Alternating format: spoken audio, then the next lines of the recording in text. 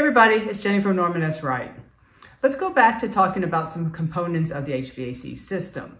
Last fall, I did a video on DX versus chilled water system, but I didn't really talk about the chiller or the components of the chilled water system. So let's do an overview on chillers today. Let's get started.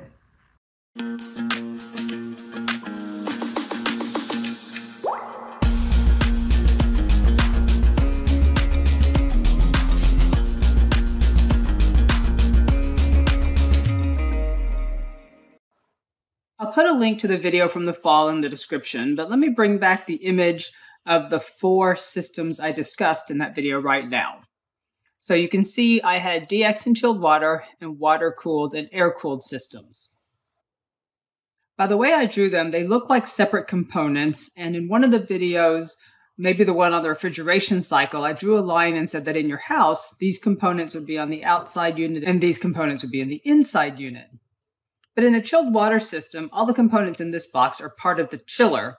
So if I draw a box around here or here, these would all be sitting in a mechanical room somewhere on a job site as part of the chiller. So let's draw this again in very simple form, and I'll compare it to a photo of a chiller to help you orient yourself around the components. So let's start with the evaporator down here.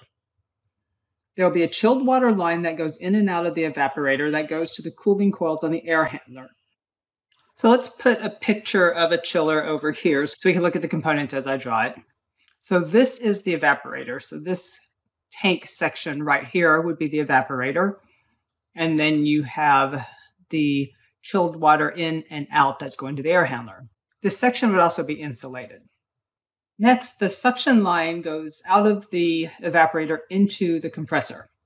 And then on our chiller, the compressor is this section right here.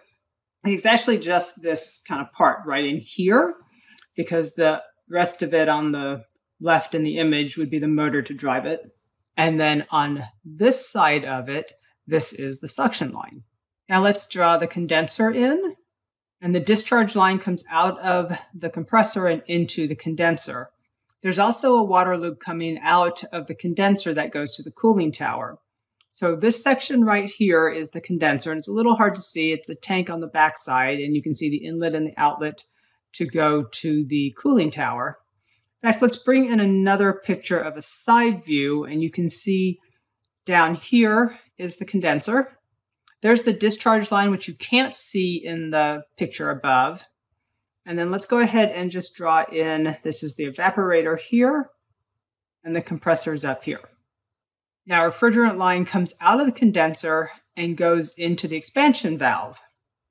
You're going to see that down here in our chiller picture and down here in the side view. And then that goes back into the evaporator. This line's called the liquid line, and you can see it kind of right here in the picture of the chiller. So those are all the components of the chiller and how they fit into the refrigeration cycle that we discussed last fall. We'll stop for now and save the different types of chillers for the next video, so don't forget to subscribe to our YouTube channel, and thanks for watching.